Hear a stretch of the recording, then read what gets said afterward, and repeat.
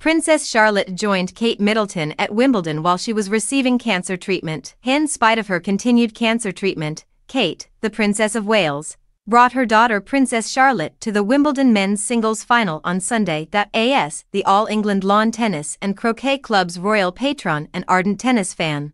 Kate watched Carlos Alcaraz and Novak Djokovic square off in the championship match for the second consecutive year from the royal box at Centre Court, after Carlos Alcaraz of Spain defeated Novak Djokovic, the Princess of Wales gave him his trophy, to a standing ovation from the audience. Until Sunday's championship game, it was unclear if Kate would participate in the competition this year.